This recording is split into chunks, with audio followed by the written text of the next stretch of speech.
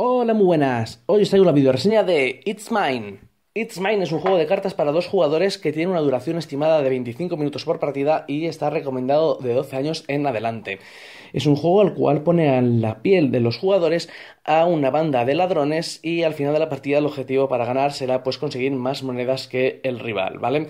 Para ello tendremos que conformar nuestra banda con diferentes jefes, diferentes ladrones y trataremos de conseguir la influencia de determinados distritos, trataremos de también hacer una banda que nos proporcione dinero, diferentes recursos y también, por qué no, robar obras de arte que al final de la partida pues nos dan también eh, un valor extra en puntos. Entonces, bueno, lo primero que tenemos que hacer para este juego es darle a cada jugador una ficha ¿vale? Hay que diferenciar entre el jugador blanco y el jugador negro, y esto es debido a que en esta tarjeta que nos marca el orden de los turnos, ¿vale? A lo largo de las rondas, que son como veis seis rondas, habrá algunas en las que el jugador blanco sea el inicial, otras el negro, luego el blanco y luego el negro, ¿vale? Después tenemos marcadas las cartas con un número encima y ese será el número de cartas que robaremos en cada ronda. Tenemos dos mazos de cartas diferentes, ¿vale? Tenemos por un lado el mazo de jefes, que es las cartas de color crema, y tenemos en un lado las cartas de acción, ¿vale? Importante en It's Mine es recordar el número 3, y esto es debido a que son tres los distritos que jugaremos al principio de la partida, como ahora veréis, son tres los jefes que podemos colocar por distrito y son tres las acciones que pueden ir en cada jefe. Bien, entonces, en este sentido, ya que la preparación es tan simple como dar una ficha de color a cada jugador, podemos empezar a sacar los distritos, ¿vale? Los distritos serán las diferentes zonas que trataremos de controlar con nuestra banda a lo largo de la partida, ¿vale? Para cuando llegue el final de la partida, ver qué jugador ha sido el que ha ganado la influencia mayor sobre ese distrito y en este sentido pues dará una, una, cantidad de monedas que será bueno pues buena parte importante para poder ganar la partida vale entonces contamos con unos distritos por así decirlo neutrales que pueden entrar en todas las partidas y después tenemos unos distritos temáticos vale estos distritos temáticos lo que hacen son dar una ambientación diferente y también proponer unas unas reglas no vale sino como unas condiciones diferentes vale es decir que se juega se obtienen de manera diferente la influencia sobre ellos en este sentido está diferenciado en cuatro grandes ciudades. Tenemos distritos para la ciudad de Londres, ¿vale? Unos cuantos como veis aquí. Tenemos también distritos para la ciudad de París. Tenemos también distritos para la ciudad de Barcelona. Y por último, tenemos distritos para la ciudad de Roma, que es la que nos recomiendan como hacer partida inicial, ¿vale? Entonces lo que haríamos sería mezclar los distritos de Roma con los distritos eh, neutrales, ¿vale? Lo mezclamos un poco así, de mala manera.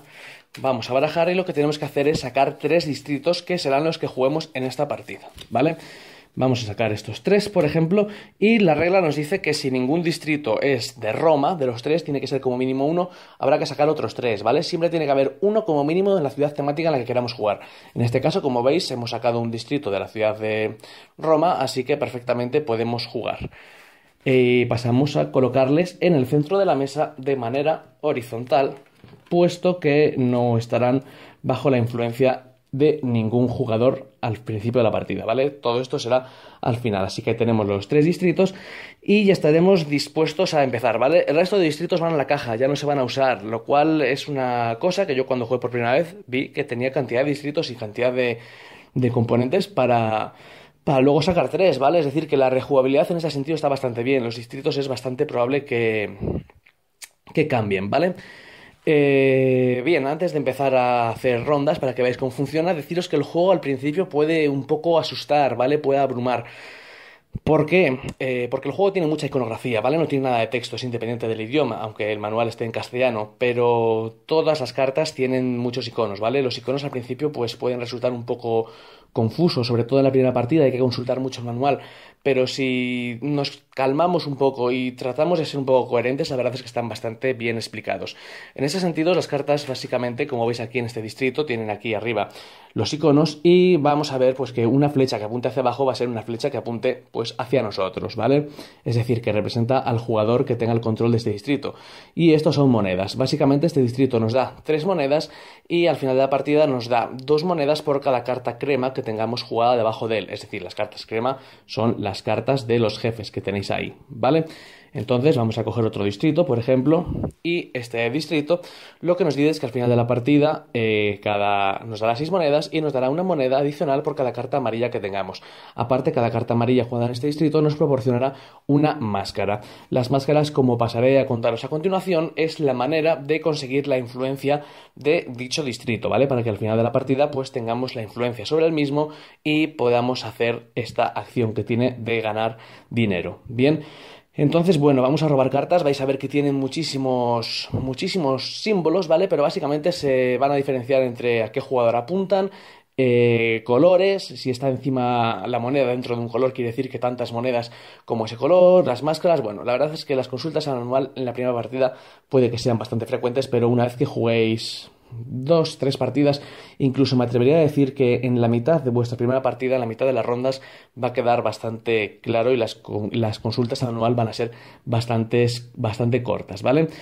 También como componentes tenemos estas fichas de casino que no, que no os he dicho hasta ahora y estas fichas lo que van a ser es un poco la moneda del juego, ¿vale? En ese sentido habrá cartas de acción que nos pidan eh, tener fichas de casino, hay que pagarlas, ¿vale? Para jugarlas y estas fichas de casino también se podrán obtener mediante jefes, ¿vale? Habrá jefes que cuando los juguemos nos, dará, nos permitirán robar pues X cartas de X fichas de casino, ¿vale? Son fichas limitadas y lo gracioso que tiene el juego es que si por algún momento tienes que robar fichas y no hay ninguna, ninguna disponible, si tienes menos que tu oponente se la robarás directamente a él, ¿vale? Lo cual hace que, aunque estén limitados los componentes, a la hora de poder conseguirles es una manera un poco de estar ilimitados, ¿vale? Salvo que tú necesites más de los que tengas y seas el que tengas más que el otro jugador. Entonces también esto tiene una variante estratégica que a lo largo de la partida pues puede ser bastante importante. Bueno, y dicho un poco una visión general, pues empezaríamos pues con las rondas, ¿vale? Tenemos aquí un cubito en el cual vamos a marcar la primera ronda y la primera ronda, como veis, lo que nos indica es que el jugador inicial es el jugador blanco y se robarán cuatro cartas de jefe, cuatro cartas crema cada uno, ¿vale? Esto que tenéis aquí son los descartes, ¿vale? Los descartes que van boca arriba del jugador que juega aquí y del jugador que juega aquí, tanto aquí las blancas como aquí las multicolor, las acciones. Entonces pasamos a robar cuatro cartas, ¿vale? Cogemos cuatro cartas y bueno, como veis nos encontramos con los con los diferentes colores, pero bueno, básicamente este jefe nos va a dar dos monedas de casino automáticamente cuando lo juguemos y nos dará una moneda al final de la partida por cada carta amarilla que tengamos en, en él, ¿vale? Aquí lo mismo, con las cartas moradas, aquí haciendo combinaciones, ¿vale? Nos dará tres cartas, tres fichas con una combinación de carta roja y una carta de cualquier color.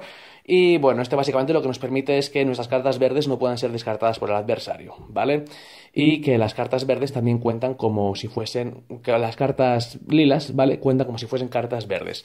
En definitiva, como veis, una vez que se explica el, icono, creo que queda bastante claro. Entonces, ya os he dicho, es jugar una partida, jugarla un poco y básicamente pues estará todo claro. Entonces, bueno, supongamos que somos el jugador blanco y tenemos el derecho de empezar esta primera ronda como jugador inicial. Y lo que tenemos que hacer es jugar un jefe en cualquiera de los tres distritos, ¿vale? Eh, podemos jugarle de manera gratuita. Y bueno, el número mágico de este juego es el número 3, es decir, hay tres distritos. Cada distrito admite un máximo de tres jefes y después cada jefe tendrá un máximo de tres cartas de acción encima, ¿vale? Pero eso ya lo veremos más adelante. Entonces, básicamente, cogemos un jefe en un distrito que nos quiera interesar, por ejemplo, digamos que queremos este y le colocamos aquí. El jugador contrario hará lo mismo, digamos que coloca pues un jefe aquí, ¿vale? Y ahora lo que tenemos que hacer después de que hemos colocado una carta cada uno es intercambiar la mano con el adversario, ¿vale? Entonces aquí de esta manera entra la mecánica de draft. Pasamos a pasarle la mano, él nos da la nuestra y en este sentido tendremos una nueva mano de cartas, ¿vale? Digamos que esta es la nueva mano de cartas que nos ha pasado el jugador. Ponemos otro jefe aquí, ¿vale? Le podríamos poner perfectamente aquí también, ¿vale? Acordaros que cada distrito aguanta un máximo de tres jefes. Pero bueno, vamos a ponerle aquí para diversificar un poco. Y volvemos a intercambiar la mano con el jugador de enfrente, ¿vale? Volvemos a cambiar la mano con el jugador. Cuando tenemos dos cartas, una carta ya la colocaremos, ¿vale? Donde queramos, por ejemplo aquí, para asignar un jefe a cada distrito, y la otra eh, directamente, directamente irá al descarte, ¿vale?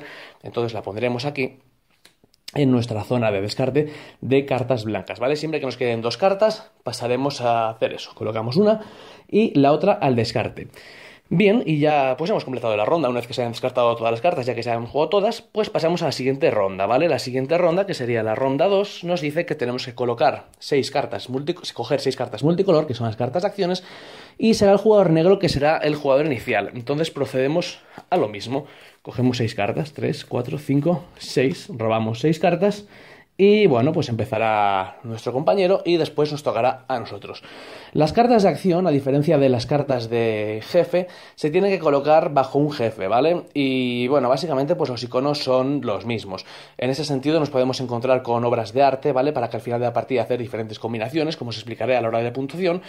Y aquí nos vamos a encontrar ya también con máscaras, ¿vale? Las máscaras es importante porque es la manera para poder controlar los distritos al final de la partida. Y por último, también eh, encontraremos el valor de la ficha arriba a la izquierda, y esto quiere decir que es la cantidad de fichas que tenemos que pagar para poder jugar una carta de acción. En este sentido, este jefe nos hubiese permitido robar dos fichas cuando le hemos jugado inmediatamente, entonces podríamos jugar cualquiera de estas tres, cualquiera de estas dos, ¿vale? El coste está arriba a la izquierda. Esto quiere decir que cuando lo jugamos nos da otras dos fichas, pero por ejemplo esta que tenemos tres, nos pide tres, pues no la podríamos jugar. Digamos que, que vamos a jugar pues esta, esta carta, ¿vale? Esta carta nos quiere decir que nos da una máscara por cada carta blanca que tenga el jugador de enfrente, ¿vale? Como veis, la flecha está apuntando hacia él, tiene una máscara y el fondo de la, blanca, de la carta es blanco. Entonces vamos a jugarla aquí, vamos a pagar las dos monedas y sabemos que al final de la partida, si todo cambia, si nada cambia, tendremos una máscara porque el jugador de enfrente tiene aquí una carta blanca, que es un jefe, ¿vale? Y pues pasaría lo mismo, cuando jugamos una carta, o rival la juega, nos cambiamos la mano y seguimos jugando cartas, ¿vale? Entonces esto será básicamente lo que haremos durante las acciones. Eh, acordarse simplemente que el jefe puede aguantar tres cartas, ¿vale? Y que como acción también, si no queremos jugar ninguna acción, podemos descartarnos de una carta y recibir una ficha de casino, ¿vale? Es la posibilidad que tenemos. Básicamente iremos haciendo esto según vayan pasando las rondas, como veis se irán alternando entre jugar acciones y jugar jefes y los jugadores iniciales irán cambiando. Después de que esto haya acabado, de que todo el mundo haya jugado todos los jefes, todas las acciones y esto se haya pues esté más grande, haya más confluencia y demás, lo que vamos a hacer va a ser ver qué jugador ha ganado la influencia del dominio. Bien, en ese sentido, los dominios, los distritos diferentes, se ganan mm, el jugador que tenga más máscaras en sus en sus distritos será el que gane. Por ejemplo, resolvamos este distrito que al final de partida imaginaos que haya acabado así. Bueno, esto evidentemente va a quedar más grande, pero para simplificar y para entenderlo mejor, pues de esta manera más pequeña se va a entender mejor. Hay que contar el número de máscaras, ¿vale? Empezando por este jugador, por el jugador blanco. El jugador blanco tiene esta carta que da una máscara por cada carta de jefe, cada carta blanca que tenga el oponente. Entonces, a efectos, este jugador tendría una máscara. El jugador negro no tiene ninguna carta que le proporcione máscaras, por lo que una máscara a cero.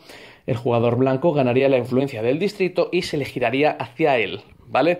Esto es importante que se gire hacia él para que luego a la hora de puntuación pues la flecha apunte a un jugador y se pueda llevar el bonus evidentemente que marca, ¿vale? Que es dinero al final de la partida. Como veis, como os he dicho antes, pues nos daría tres monedas más dos monedas por cada carta de jefe que tengamos en este distrito, ¿vale? Haríamos lo mismo con el resto de distritos, podría ganarle este, por ejemplo, otro jugador, y en el caso de que haya un empate de máscaras, el distrito no se movería y se quedaría así en horizontal, ¿vale? No sería para nadie. Después, entonces, lo que tenemos que hacer ya es dar la vuelta a esta carta y procederemos a la puntuación, ¿vale? Eh, entonces empezaremos en primer lugar por puntuar los dominios, ¿vale? Y los distritos, perdón. Entonces nos llevaríamos 5 monedas más 2 por cada carta de jefe, en este caso hay una, eh, este distrito daría 7 monedas al jugador. Cogeríamos nuestro cubito y le pondríamos en el número 7, ¿vale? Como veis, podemos contar hasta 69 puntos. Después, bueno, contaría este distrito, se lo contaría el, otro, el otro jugador y este distrito quedaría, pues, no le tiene nadie, pues quedaría sin puntuar. Después pasaríamos a la puntuación de los jefes, ¿vale? Los jefes también pueden dar monedas, como veis, por ejemplo, este jefe nos daría una moneda por cada carta amarilla que hayamos jugado debajo de él, ¿vale? En ese sentido, ahora mismo no tendríamos cartas, pero si por ejemplo esto se hubiese jugado así, pues este jefe nos proporcionaría una moneda, ¿vale? Lo mismo puntuaría el jugador contrario, después pasaríamos a puntuar las... La, perdón, me lío, las cartas de, de acción, ¿vale? Las cartas de acción lo mismo, tenemos cartas que dan puntos, ¿vale? Por ejemplo, esta carta de acción nos da dos monedas por cada carta roja que tenga jugada el oponente, aparte de una joyita, ¿vale? Y por último nos encontramos con que hay que puntuar las obras de arte, y las obras de arte es donde entra en juego la joya, ¿vale? Tenemos tres tipos de obras de arte en las cuales están los cuadros, las joyas y las vasijas, ¿vale? Aquí veis, bueno, la joya, aquí tenemos la vasija, y a ver si encontramos el cuadro para que lo veáis, la pintura, ¿vale? Y la pintura.